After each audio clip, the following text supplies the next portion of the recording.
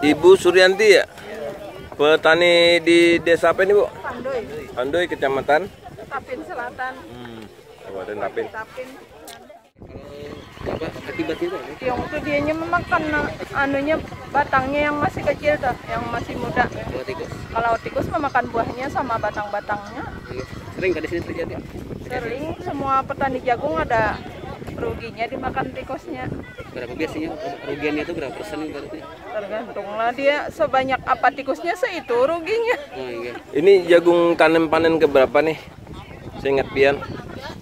Tiga ke empat kah sudah? Ini yang keempat atau Empat rasanya. keempat kalinya Kan inilah. Tiap tahun kalau Tiap tahun selalu ada serangan hama yang pian sebutkan tadi tuh. jarang juga kalau Oh jarang juga, tak kirain saben tahun. Mm, enggak juga ada yang Enggak berhasil baik. Jadi seperti itu, tikus, keong, Kalau di sini nggak ada kiongnya, yang Ah. ada kiong daerah sana di Padang Gatal sana. Kalau yang di sini nggak ada kiong hulat sama tikus saja yang di sini. Tanaman jagung petani kita ada serangan hama penyakit yaitu terutama waktu masih muda yaitu ulat gerayak dan setelah apa menjelang mengisi polong itu adalah eh, tikus.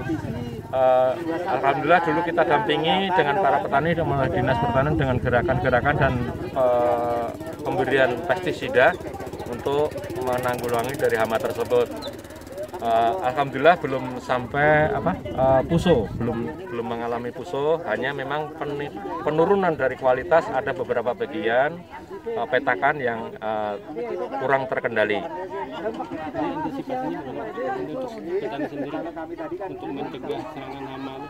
Oke, kalau hama tikus kemarin kita apa eh, sarankan ini ini ilmu di petani. Kita gerakan karena apa apa dengan pengumpanan dengan pestisida diumpan dengan racun itu sudah kita lakukan. Dan ini ada ilmu petani yang cukup bagus yaitu dengan buah maja. Buah maja yang ada di apa taman-taman kota itu kan banyak yang kayak jeruk itu. Nah itu adalah benar-benar mengusir jeruk apa mengusir tikus dan tikus tidak mau masuk ke sawah atau ke lahan pertanian. itu cara menaruhnya di Di galengan-galengan keliling ya di jalan-jalan tikus itu cukup murah dan itu eh, apa efektif